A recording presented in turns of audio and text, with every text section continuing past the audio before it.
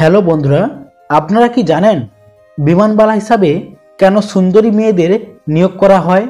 আপনি কি জানেন বিমানে আপনার পাশের সিটে মৃত মানুষকে বসিয়ে রাখা হয়?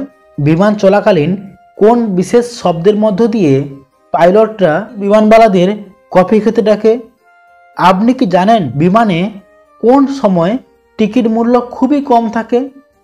এই রকম আটটি ইন্টারেস্টিং বিষয় আপনাদের সামনে তুলে ধরব এই প্রতিবেদনে। আসলেই বিমান যাত্রায় মোবাইল ফোন কেন বন্ধ রাখতে হয়, আপনি কি জানেন? আসলে বন্ধু, মোবাইল ফোন ব্যবহারে যান্ত্রিক ত্রুটি দেখা দেবে এ কথা কিন্তু সত্যি নয়। আসলে মোবাইল ফোন ব্যবহারের বারণের কারণ হলো মোবাইলের রেডিও সিগন্যালের জেরে পাইলটরা গুরুত্বপূর্ণ বার্তা নাও শুনতে পারেন।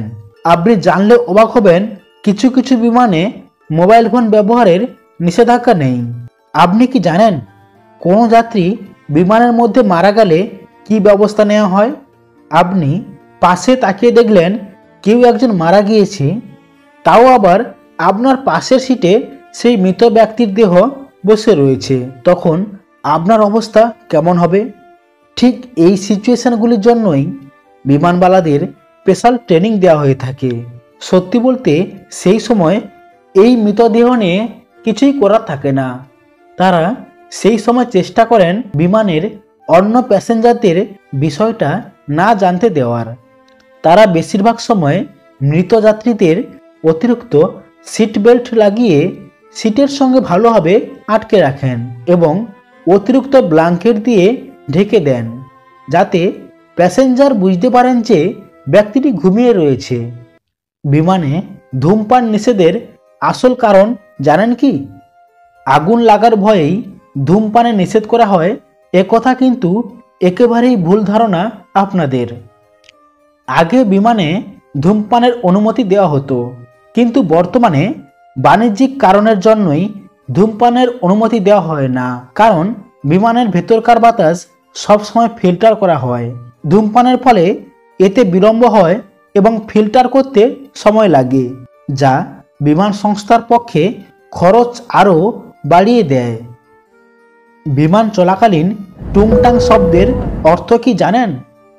আমরা যারা প্রায়ই বিমানে যাত্রা করে থাকি, তারা বিমান চলাকালীন কখনো কখনো টুংটাং শব্দ শুনতে পাই। আমরা অবশ্য এই টুংটাং শব্দের কী অর্থ কেউই জানি না। কিন্তু এই শব্দের মধ্যেই একাধিক সিক্রেট কোড লুকিয়ে রয়েছে, যা বিমানবালা ছাড়া আর কারোর পক্ষেই বোঝা সম্ভব নয়। তারা কোড ল্যাঙ্গুয়েজগুলো এ কারণেই ব্যবহার করে থাকেন যাতে তাদের কথা শুনে চিন্তায় না পড়ে যান এবং অসুস্থ না হয়ে পড়েন। তাদের এই টুংটাং শব্দের মধ্য দিয়েই একাধিক কোড আদান প্রদান করে থাকেন নিজেদের মধ্যে। যেমন ধরুন, একবার এই শব্দ হলে সামনে বাতাসের গতিবেগ প্রবল রয়েছে। দুইবার শব্দের অর্থ হলো বিমান দশ হাজার ফুটের ওপর দিয়ে উঠছে এই শব্দ তিনবার হওয়া মানে বিমানে কোনো ঝামেলা হয়েছে। এই রকম কিছু সিগন্যাল এলে বিমানবালারা নিজেদের সিটে বসে সিট বেল্ট লাগিয়ে নেন। ক্যাপ্টেন এবং কো ক্যাপ্টেন একসঙ্গে খাওয়ার খাওয়া নিষেধ। দুই ক্যাপ্টেন একসঙ্গে ব্রেক নিলে বিমান কে চালাবে? এই নয় যে বিমান উড়বে না। অটো মোডে একই গতিতে বিমান উঠতে পারে, তবে তা মোটেই নিরাপদ নয়। তাই একজন ক্যাপ্টেন খেতে গেলে অন্য একজন ক্যাপ্টেন অপেক্ষা করেন। আপনি কি জানেন বিমানের টয়লেটের দরজা ভেতর থেকে বন্ধ করা থাকলেও বাইরের থেকে তা খোলা যায়? দরজার বাইরে নো স্মোকিং সাইনের নিচে একটি লিভার থাকে।